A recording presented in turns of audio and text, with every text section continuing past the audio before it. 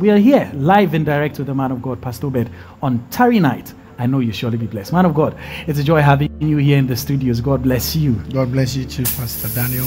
Man of God, um, for the past one month, we had we had we had a blast. We had an exceptional experience um, at Tarry Night, looking at the matter of spiritual marriage there. The volume of testimonies that have poured in over the period of time is overwhelming. We give God the glory. Man of God, this month we are here on Tarry Night again. Yes. We are looking at the matter of decoding our destiny and understanding, via understanding the star of our birth. Yes. That is why we are here tonight. Mm. Man of God, we want to firstly understand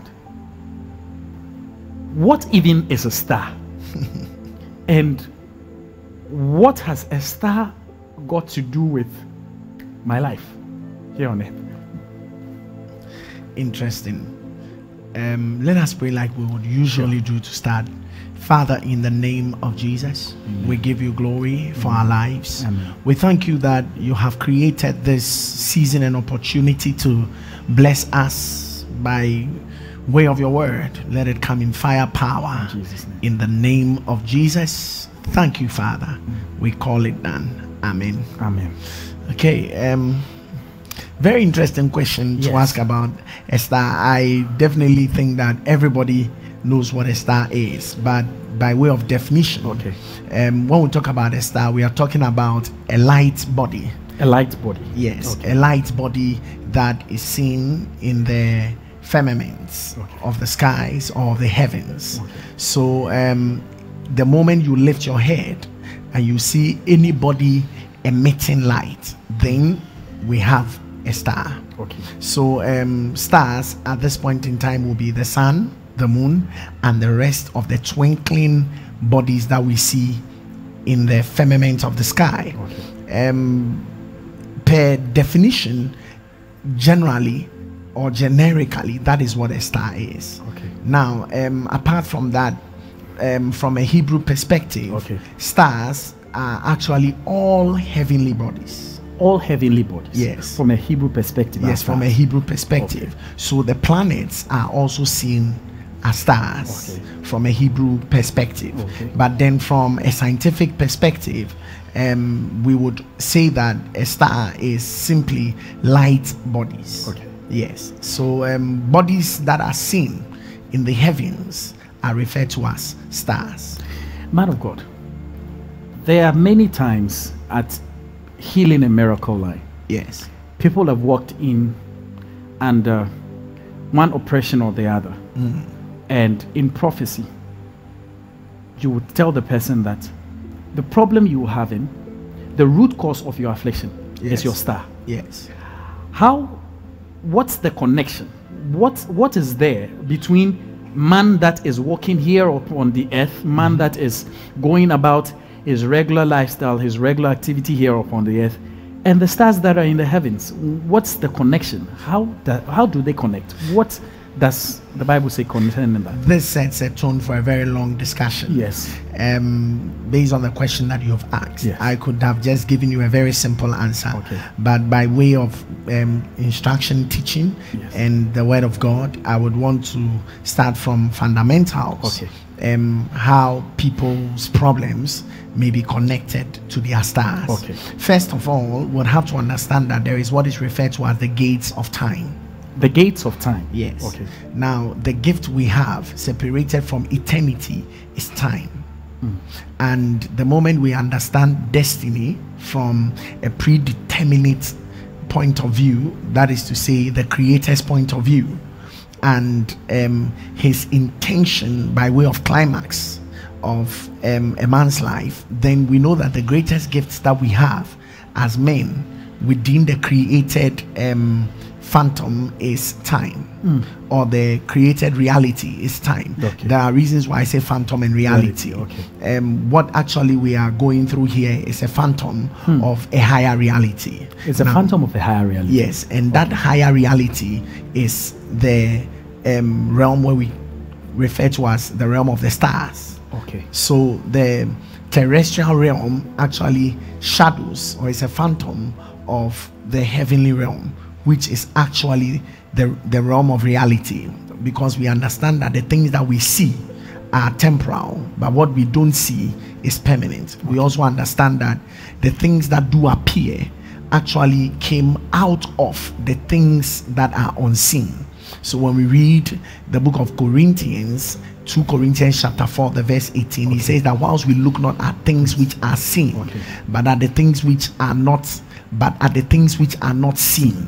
For the things which are seen are temporal. Okay. They are a phantom of a permanent reality. But the things which are not seen are eternal. Okay. So now um in understanding this block, we tend to agree with ourselves and with scripture that what we don't see is what actually substance is.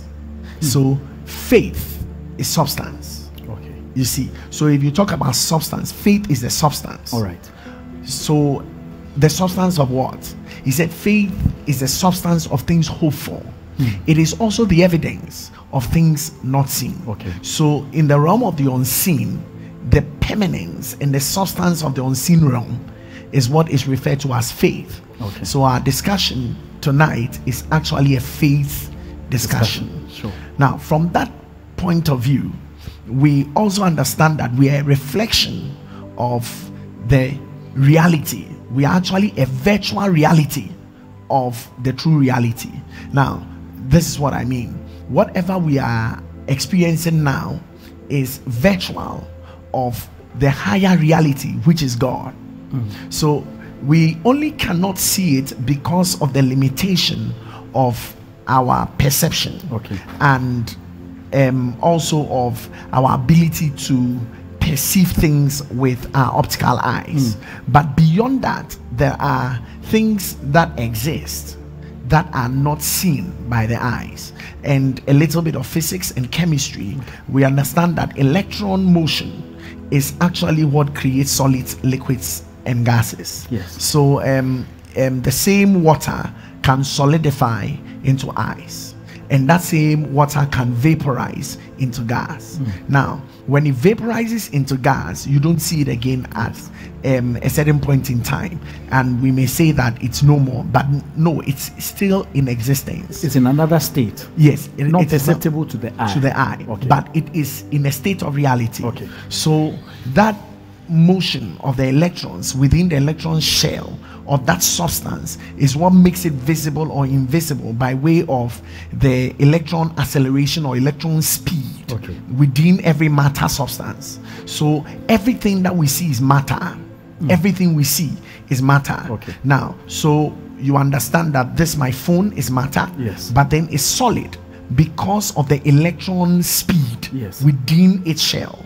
Now, water is liquid because of the electron speed within its shell.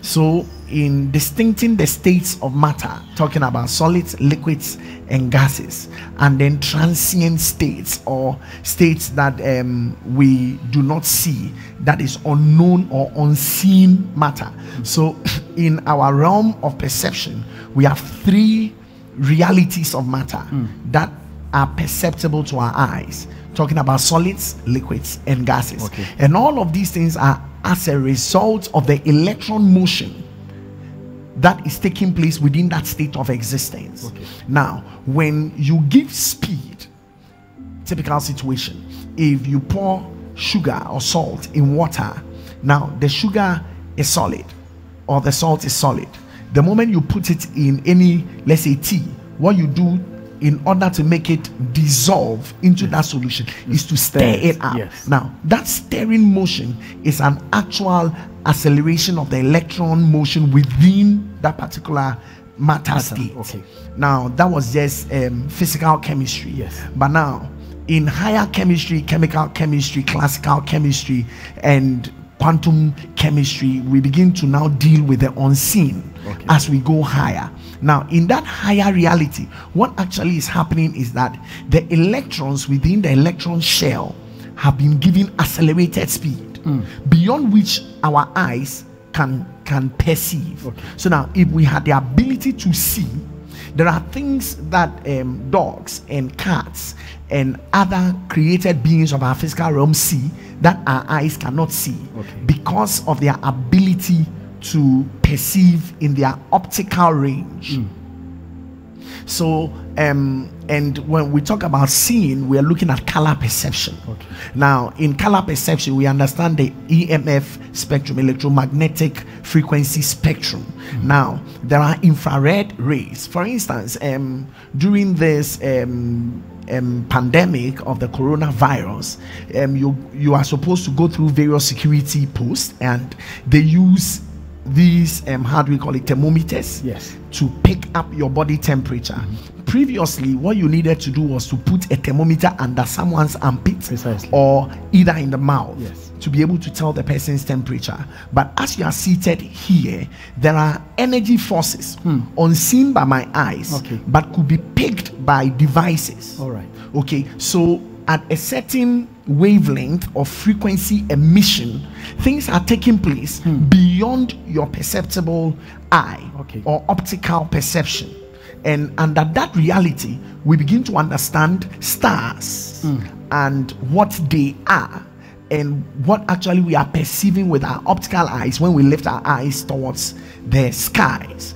Beyond what we see within the EMF range of um, various colors, Okay. there are more than what is seen. For instance, I'm, I'm making a reality, I'm, I'm referring to you. Beyond what I'm seeing physically with you, there is more than what is seen Precisely. even in the physical realm, Yes. not to talk about soul or spirit. In the physical realm, there are emissions, infrared emissions, Okay. that actually we could use to determine whether you are healthy or you are sick. Hmm. So, by getting a thermometer that could pick infrared radiations from your body, Okay. we'll now be able to tell the state of your health you see so um for instance during um this pandemic of the coronavirus if you get to any um how do you call it airport or you have to enter any space Yes. of security one of the first things that they would want to find out is whether you are healthy Yes. but how would they know they will know it by the infrared emissions that is taking place within your body Okay. being emitted by your body